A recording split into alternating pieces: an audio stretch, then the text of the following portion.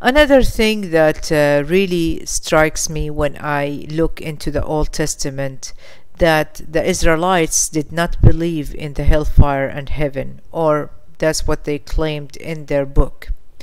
And the reason why, because the hellfire and heaven was not mentioned in the Bible.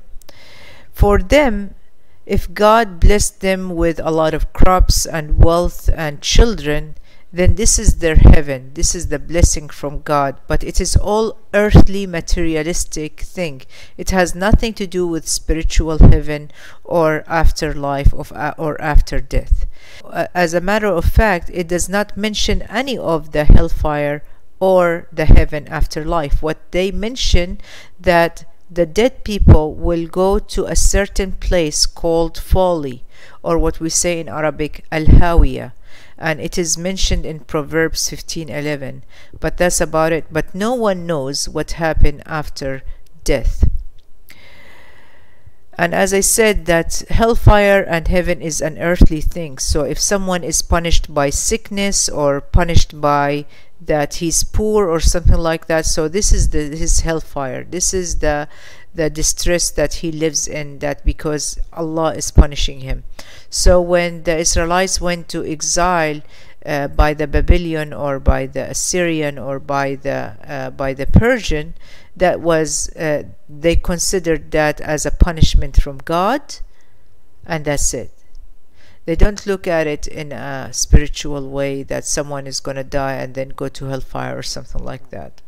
In the Hellenistic era, around like 300 BC until 300 AD, uh, the Jews were separated to three different religious sects. Of course, there were more than that, but those three, they were the most common ones.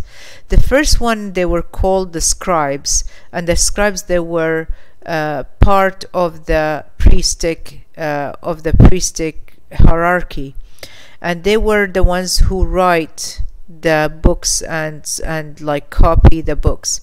They were very strict they were very literal when they translated and interpreted uh, the literature of the scriptures they actually interpreted literally.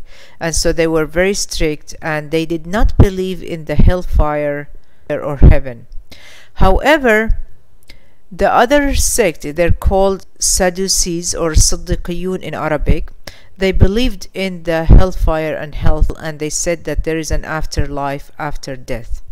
There is the third sect that they have nothing to do with those two and they were very much like monks and nuns and they lived uh, isolated from the society and from the world and they were called the asceticism or they called al-mutanassikin in Arabic.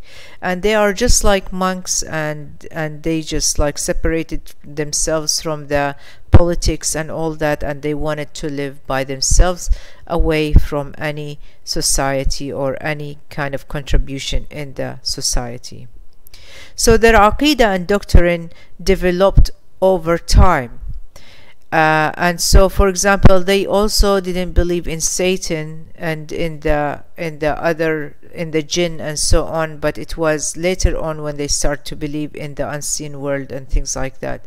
Same thing with hellfire and heaven. The Israelites' uh, doctrine it developed over time until it reached to the after the Hellenistic time, and they started putting other uh, doctrine uh, of the like for example the christianity when when it came to the christianity when they start to say about the three gods father son and the holy spirit and they were influenced and affected by the culture of the Romans who believed in gods and semi-gods and divines and so on and those divines can can be like united in one person and so on and then you know things like that However, the Aqidah and the doctrine of Islam, which is the true Aqidah, it never changes from the beginning till the end. From the beginning, we know that there is only one God worthy to be worshipped.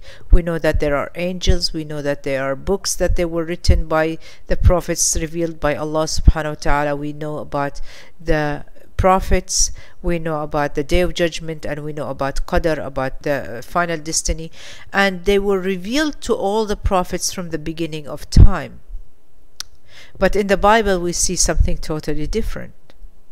And that tells us one thing that the Bible is not the Word of God.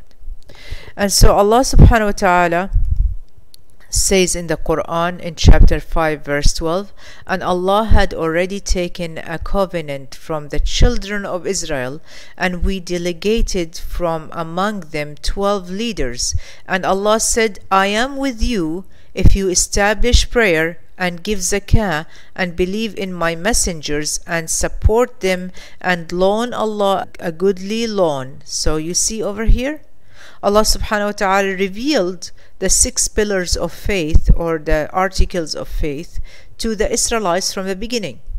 Then Allah says, I will surely remove from you your misdeeds and admit you to gardens beneath which rivers flow, which is Jannah the Jannah and hellfire, heaven and hellfire.